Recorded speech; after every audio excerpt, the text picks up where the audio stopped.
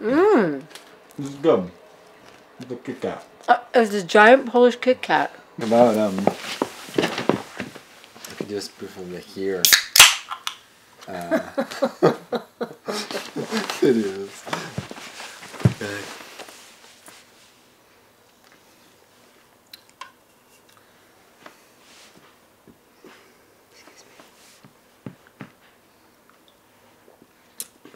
Oh yeah, you know that when you eat something uh, sugary or chocolatey and then you drink Coke and like it's really gross. It's like kind of sometimes it gets re- like it's not happening to me right now, but sometimes it gets too bubbly. Mm-hmm. It gets I so bubbly. definitely just had a reaction.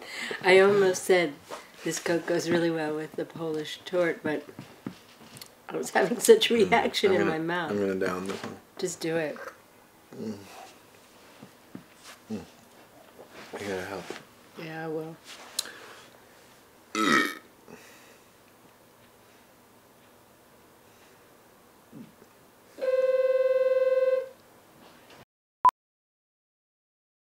All the technology you need to keep help you What did I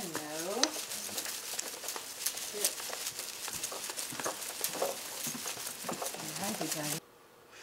Do you ever imagine yourself as a little girl? Uh, sometimes I have memories of myself as a little girl. What are you thinking of right now? Um, running around outside in shorts, barefoot. Where? Um, at home, where I grew up, Which was? Indiana. In the country. Oh, that's right. I was thinking of Colorado, but no. No, that came later. No. um, swimming. I kind of lived a, a, like a wild child. That's how Z imagines you every day. No, I don't think so. Yes, he thinks about you all the time as a little girl. So you just ran wild outside. Yeah. The, uh, my mother kind of like outs, get out of the house. And I had two sisters and we lived outside. When I when I got to um, come down, I've never been. Were you totally naked? yeah, remember? I've never been totally naked live on stage.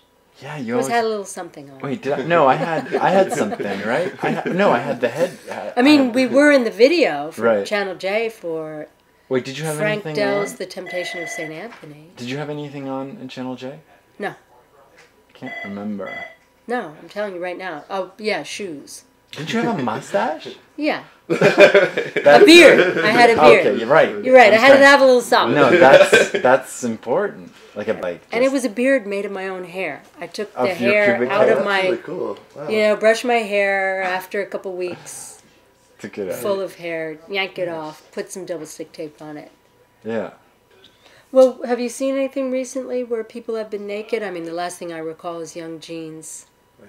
Untitled feminist show, I but didn't see that. what's this? How? Well, tell me about the. Uh, and they were trying, you know, because we were just coming off of Hamlet, and they were using, they were using the video footage from the performance as sort of their source material, you know. Oh. And they also, I guess, it was. A were book. they playing it on? Uh, That was the thing. I assumed that they would like have some kind Yeah. of like, like, but they didn't. I guess what they were doing was more like, low tech? Or? yeah, exactly, and sort of just internalizing that and then kind of going with it from there. Um, but yeah, it was interesting because they did. There was a lot of nudity, and it was you know they would take their clothes off and put them back on and things like that. But it always seemed very. I don't know, like they were trying to make this communal atmosphere. You know, I guess like the original production. I don't know. Did you see the original? No, I Oh, didn't. okay. I didn't come here till later, Oh right. seventies. My mom asked. She's like, she came to one of the screenings of like Yeah. when we were screening the archives, you know. But she came and she's like, "Why is there always so much nudity?" Like in this. And I'm like, maybe it's just um uh, a metaphor for openness. You like openness, don't you? That's what I told her. I was like trying to like school her really quick. You You like know? openness, don't You- you? Don't you like it when people are nice and open to you? She's like, yes. So, you know, and then I'm like, well, maybe it's just a metaphor for that, you know. But I think it's probably not as simple. You guys were talking about how like it's more commercial now or something. You know what I mean? Like Somehow. commercialization. Because people- Well, I'm it. just thinking of people are so considering how they're gonna How they're gonna market, themselves Right, and right, sure. yeah. But I wonder, did Richard Schechner?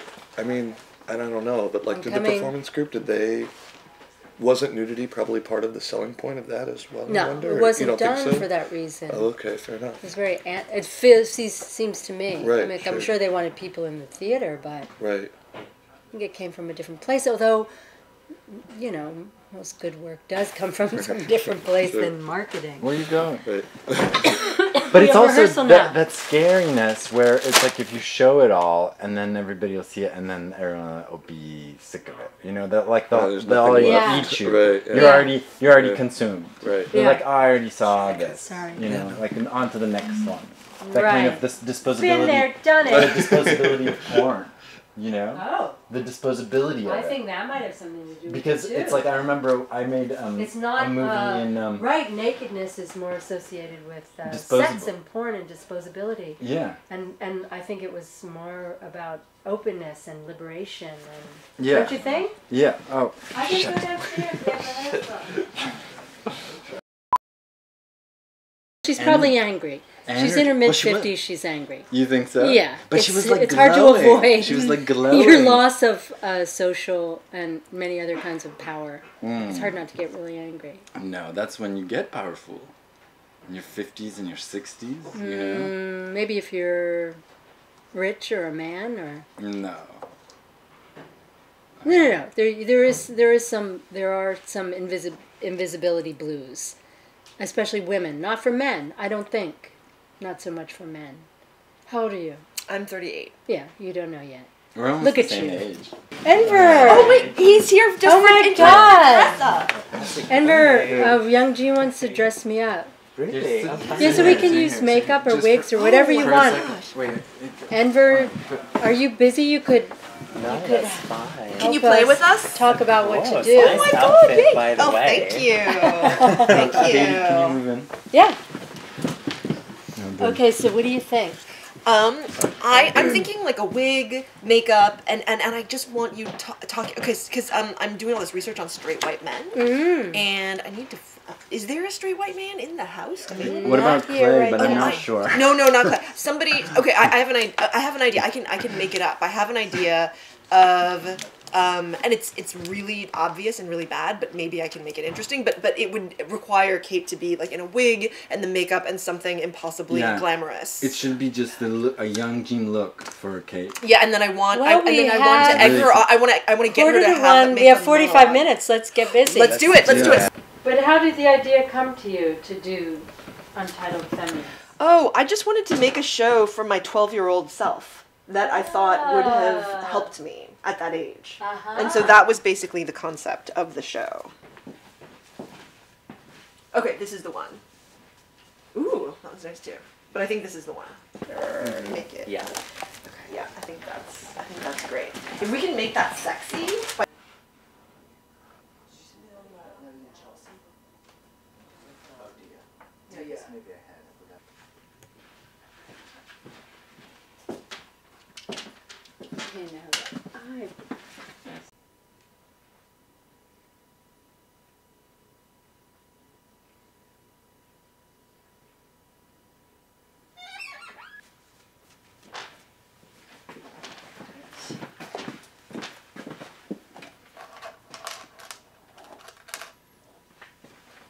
How?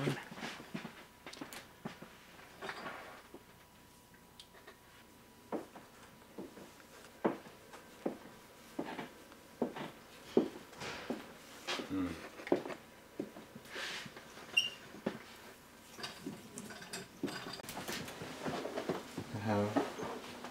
Oh, she was more she was right because she it, we need to hide that doorknob.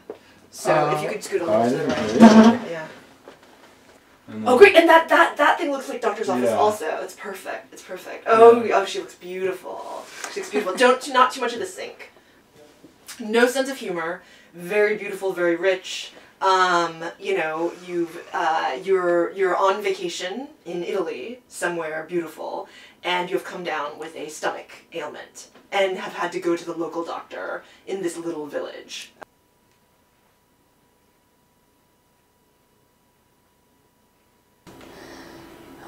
Um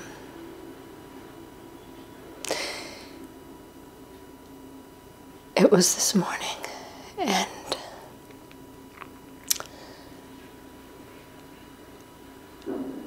it came after a period of great pain. I was doubled over with a cramp that I had had all morning long. And when it came, it was rather explosive. And, well, there it was, looking a little like particle board soaked in water, or cork board soaked in water, and, and lots of little bits.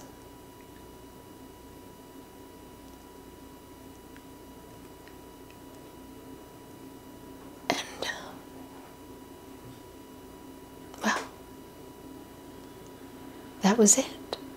It's been like that for quite some time, every day.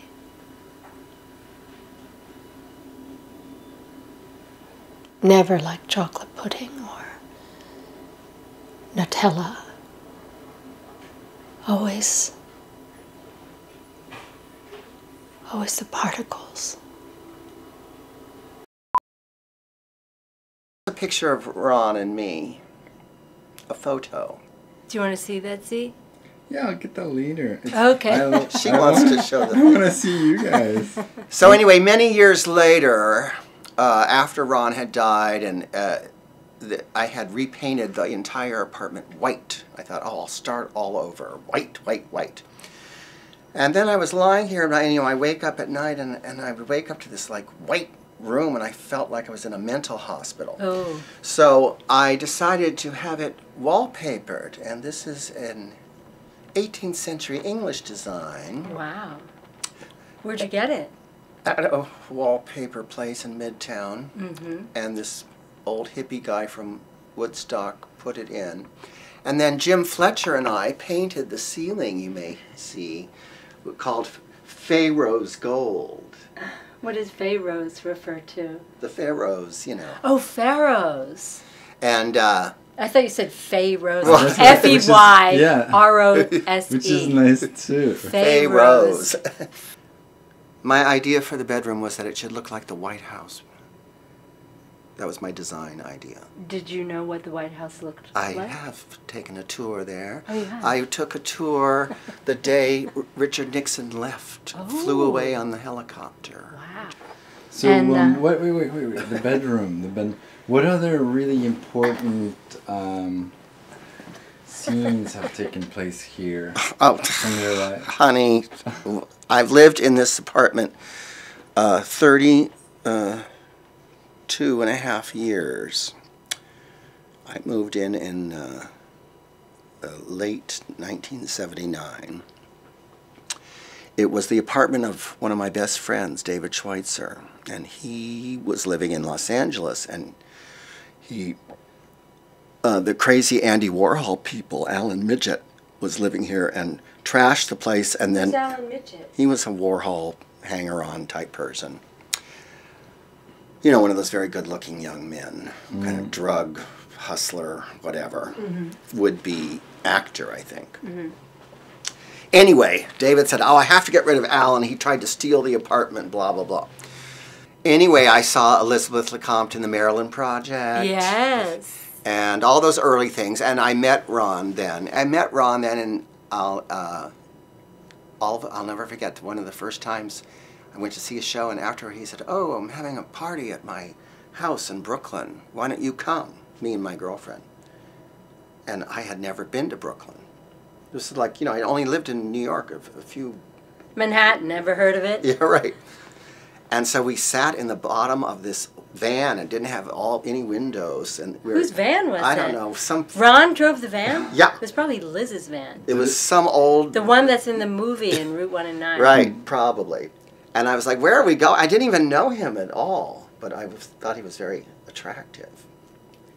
Anyway, we went to this party, and that was one of the first times I spent time with him socially. But moving forward, years later, Who where told did you, you that? Where did you keep your money in, in the? Which was this? The seventies or the eighties? 70s. Seventy. Did you Late keep it in like your shoe or something? No. Did- like in case, so you wouldn't get robbed by a hustler. Or? That's I, how I. You know, I almost I'm got sorry. robbed once, but I fought them off. I ki- on 42nd Street, I kicked. Anyway, It's hot in here. Uh, so anyway, I went to see the show, and I was like, and then it was over, and it was only like eleven thirty or something. And you were with these people at the No, show. no, I went by, By myself. yourself. I used to go to the bottom line by myself.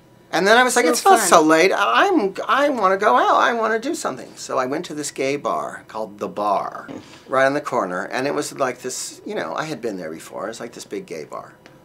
So I walk in, and the first person I see is Ron Vawter, and he plied me with drinks, and we stayed there till like four o'clock when it closed, and then he invited me over to his apartment for tea. And I was like, tea? All right. And he lived in this horrible, filthy, tiny little apartment on, um, what's that street? MacDougal, I guess. Okay. So wait, th- you you said that it's not the first time you guys are lying in this bed together. No. Are you kidding? When was the first time? I I don't know. I've known Kate many, many years. Of course, she's somewhat younger than I am, but Only somewhat. Only, yeah, right. She's been here many times, innumerable times she's been here. By herself, with others. Do you have a Christmas tree? No, I haven't had one for years. Why? Uh, I'm pa- like so. I think I'm part of the war on Christmas. I think Christmas is good for children.